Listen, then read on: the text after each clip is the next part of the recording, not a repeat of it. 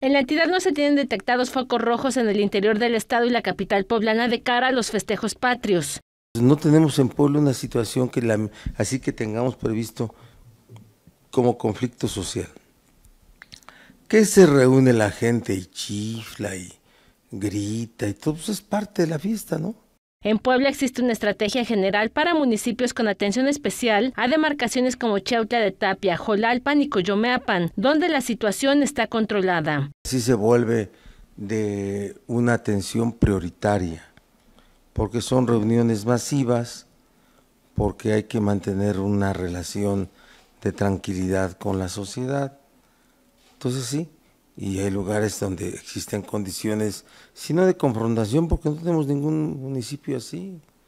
El caso de Coyomeapan más palpable, estamos en un proceso de, de pacificación completo. Por ello se diseña desde ahora la estrategia a seguir para que las fiestas patrias concluyan con saldo blanco. Va a haber una estrategia general de cuidado, de seguridad pública en todo el estado, eso sí.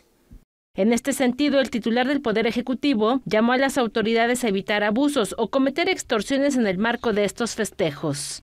El llamado es a todos a un comportamiento responsable y a las autoridades a que no extorsionen a los dueños de los establecimientos, ¿sí?